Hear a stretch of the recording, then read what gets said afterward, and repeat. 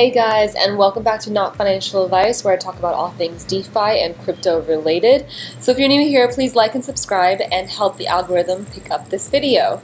So the NFT market has gone parabolic, especially this year. Um, you just take a look at any number of the headlines that have come out with everything happening in the NFT space just popping off, I wanted to make this video as an intro on how to get started with NFTs, what they are, their use cases, what drives their value, how to find them, different tools and strategies, as well as the potential downsides. So let's jump right into it.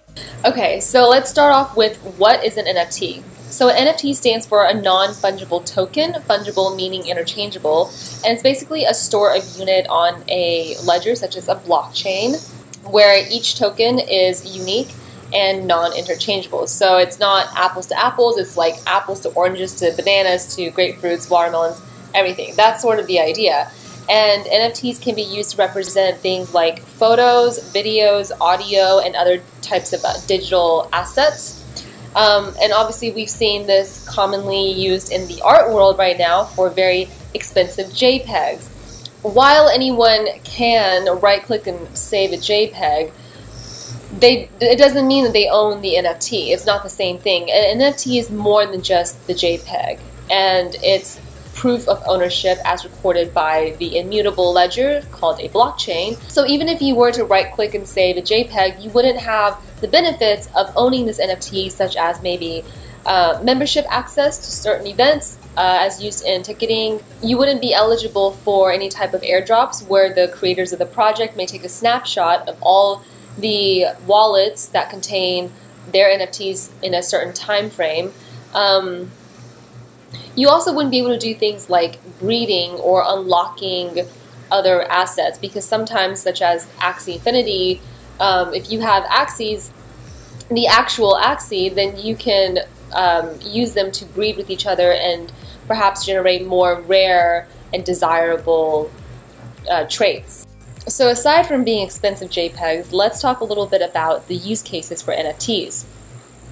Um, one of the most obvious examples is the art space, where now you can have verifiable authenticity and proof of ownership, which before has caused some considerable and expensive problems for the fine art world. NFTs in its own right is sort of a collector's item in the sense that you have artificial scarcity, you have the flex factor, and you have the ability to own a time capsule in a sense because money can't buy time, but a time capsule would be the next closest thing, right? Owning the first of something, whether it's the first NFT being auctioned by Christie's or the first NFT um, collection that's ever been dropped on a certain blockchain or a certain platform. There's always been that collector mania about it um, before NFTs even existed, and that definitely comes into play with NFTs as well. Not to mention, behind every valuable NFT or collection is a story, it's a unique story. Um, whether it's something, for example, with Beeple's $69 million NFT piece, um, you know, he's not just some ordinary Joe Schmo that just minted up this expensive JPEG and they auctioned at Christie's. Um, for one, he's already been a established artist in the space, so he's already got the reputation, which is very, very important in the art world as well as the NFT world. But his story was one that he basically created a new art piece every single day for I think it was like 13 plus years and people want to become a part of that story, if not to own it.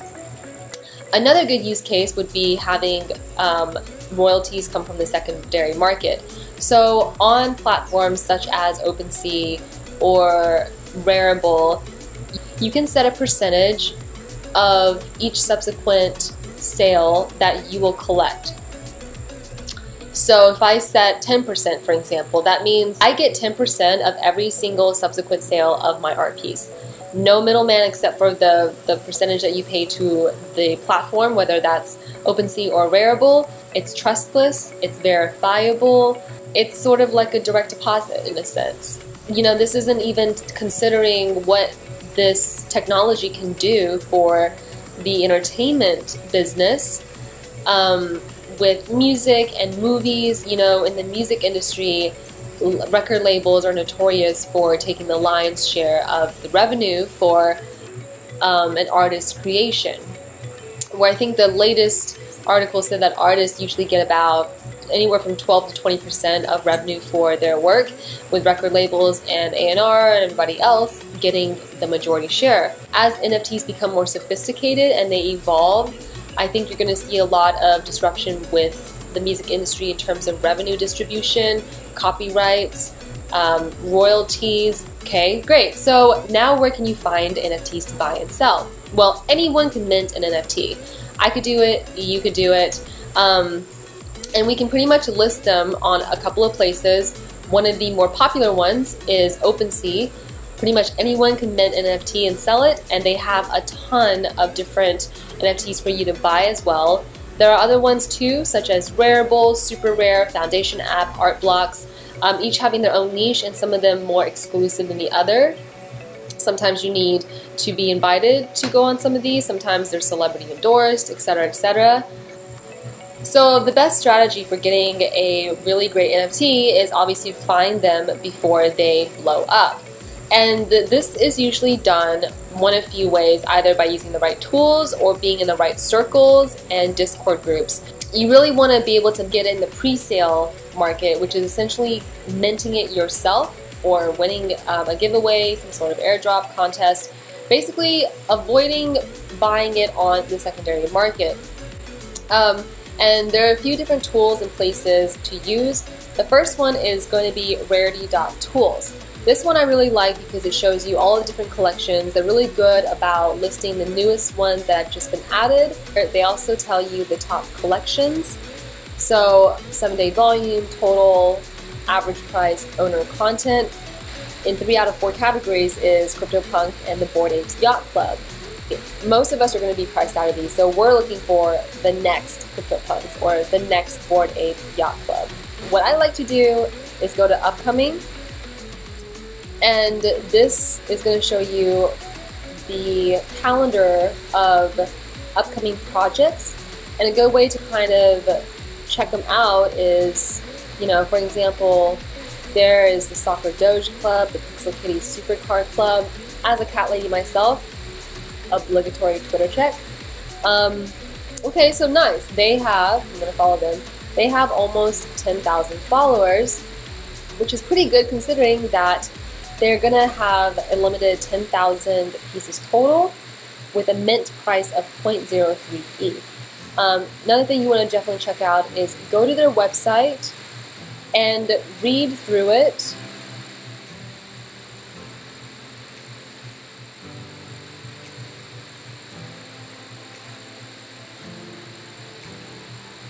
read on what they're building. Is it going to have utility? Is there a universe built around it, or is it just going to be a set of pixels? You also want to see if you can find out who the creators are, because creators are going to have reputation more than likely, and that's going to play a huge factor in the value of these NFTs in the long term. And ideally, they would have a Discord right here, which is perfect. You want to check out their Discord as well and see how many members there are already, and what the vibe is. You know, is it a good community? Um, so right now there's only 62 members, which is kind of weird for a Twitter account that has over 9,000. So might want to do a little bit more digging. They're doing giveaways right now. Um, I'm in a lot of discords, and that's another great strategy that you want to implement is get really good at reading through a lot of Discord groups and servers pretty quickly because there are so many golden nuggets in these Discord channels. Um, a lot of people will discuss trades, discuss upcoming projects. Um, it, it's really going to be word of mouth driven. And if you're more into the gaming side of things, there's a website called playtoearn.net. And here you can definitely check out all of the pre sale NFTs. Um, and kind of check, you know, their social metrics and get some more data, do some more DD, see which ones you think have really great potential. There's another one that's similar too, and this one's called playtoearn.online. And here you can check more of kind of the news, the latest news on which projects are getting funding because having cash is always a great advantage. Um, so I would also look through here just to see what's going on in the space, kind of just staying updated with everything. You can also check out cryptoslam.io. This will list things that is not on OpenSea, um, for example, the NBA Hot Shots. And this is going to kind of sacrifice depth for width. So you're going to see a lot of info, um, but obviously not as much information for each thing. And you're going to be able to see by days, all time, um, search all these different NFTs. I would recommend just going through a couple of these because a lot of this NFT um, space is very community driven. There's not really like an established media outlet for NFTs. You have to really be following the right people and joining the right circles, the right crowd. I mean, you've heard this all before. And another good place to check on the stats of all NFTs in the market is OpenSea.io, where you go you go to stats and rankings, and this is where you'll be able to find the top movers. You've already got your established top three, but for example, Parallel Alpha has really been popping off, and I actually found out about this project just a few days before they launched through word of mouth. Um, I don't remember, I think it was either like Twitter or Discord. And another project that's really good to look out for is Art Blocks Curated. They've really, really popped off. Um, especially a few of their curated pieces like the Fidenzas have been going insane. You can go to Art Blocks and you can check under curated projects. The Chromie Squiggle by Snowfro, uh, once again, artist with reputation, with tracked in the community, and a story behind it. This platform is very niche in doing generative art, and um, these pieces are usually done through AI. Their most popular ones are going to be the curated projects. You may be able to find some gems in the playground and the factory, but if you look on the secondary market, you'll see that the Squiggle, um, Crypto Blot, Singularity, Fidenzas, um, Watercolor Dreams, or just Dreams by Joshua Bagley.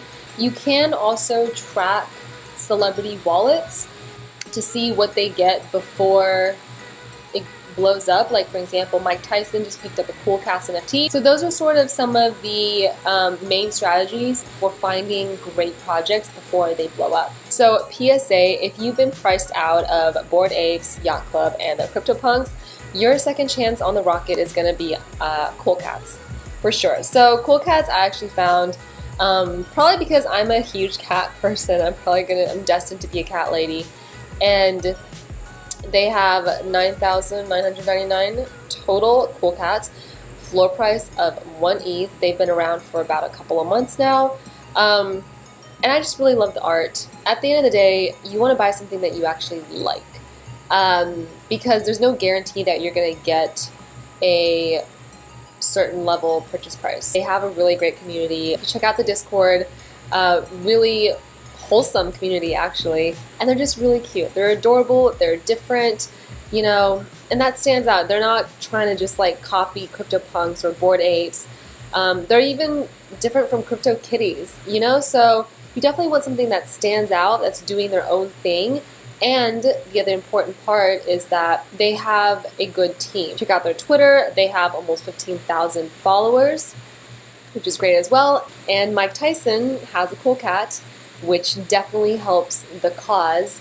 Um, another great project that I found via word of mouth is Parallel Alpha. It's a sci-fi collectible card game with NFTs. Um, the cool thing about this is that they're really building a whole metaverse for this game. So the game is still in development. Um, they've done these card drops where you had to reserve them in pre-sale before release. And now a lot of them are on the secondary market. And if you'll look, it's kind of insane what some of these have gone for already. So within 24 hours, this project actually momentarily overtook Bored Apes Yacht Club. Um, I think it was in terms of volume traded. You can actually sort by highest last sale. Obviously, some cards are going to be more valuable than others, and everyone is going to need a deck to be able to play the game once it's released. Um, and what's really interesting is that these masterpiece cards, which are going for quite a bit, uh, last sold for high 75 ETH, they actually give you a percentage of all the cards traded that look like the photo you're holding. So for example, if I were to hold this parallel masterpiece card, I would be getting 1% of the revenue from all cards that have this photo forever, which is insane. It's, it's basically passive income.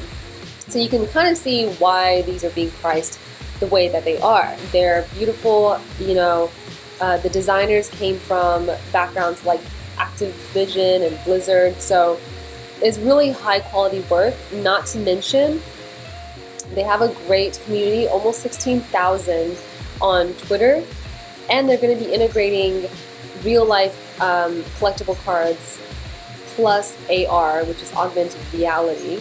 Um, right now, the NFT SE editions are very undervalued in my opinion, uh, especially in the secondary market. And obviously, the more rare, the more valuable. Although right now, I think the market is kind of sorting itself out because anything that's a 1 of 500 or 1 of 800 should be worth more ultimately than something that's like 1 out of 10,000. It's basically PlayFi. You know, you've got games plus NFTs plus DeFi, and there's just a lot in development. It's a very active community, a, lot, a very active team, and a lot of functionality and utility with it, which is also really important. I hope that's helped you get a better understanding of kind of where to start, what to look for, strategies, tools, as well as potential gems. So yeah, that's the beginner's guide crash course into NFTs. Tell me what some of your favorite NFTs are and why. If you found any of this useful, please like this video and subscribe. That really helps with the algorithm. See you in the comment section below, and I will see you next time.